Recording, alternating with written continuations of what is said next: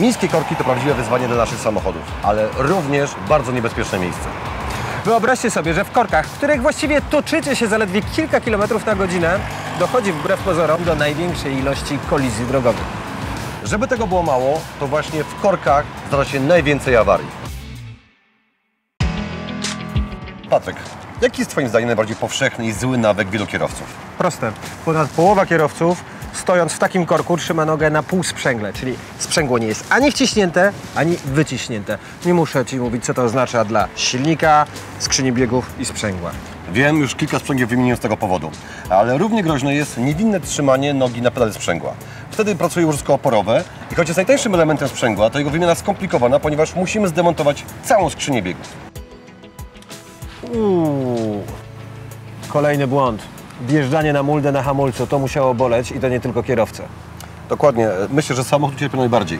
Musimy pamiętać, że nurkujący przód sprawia, że zawieszenie pracuje tak naprawdę w tym dolnym swoim zakresie. Istnieje duże ryzyko uszkodzenia amortyzatorów, ale nie tylko.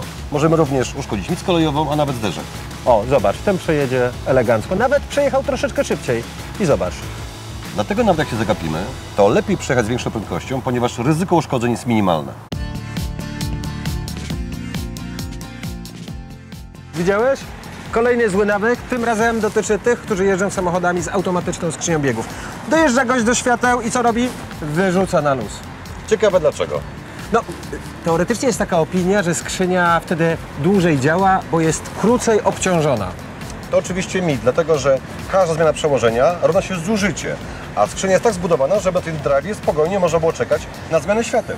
Popatrz, za chwilę zapali się zielone światło, facet wrzuci drive, wciśnie do dechy i wtedy ciśnienie zaczyna niszczyć skrzynię biegów. Podobnie sytuacji jak zmieniamy kierunek jazdy, czyli cofamy, nagle drive i ruszamy. Wtedy również skrzynia bardzo mocno cierpi. Czyli co, w automacie jak dojeżdżamy do świateł, po prostu trzymamy nogę na hamulcu, nie dotykamy skrzyni biegów. Dokładnie, a potem zwalniamy hamulec i ruszamy.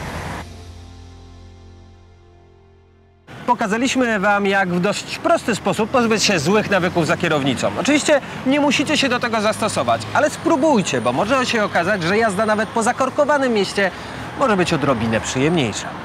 Pamiętajcie, nie tylko kierowcy nie lubią korków, ale wasze samochody również. Jeśli posłuchacie naszych rad, to może się okazać, że w serwisie będziemy spotykać się rzadziej. Warto spróbować, tym bardziej, że Was to nic nie kosztuje, a możecie tylko zyskać.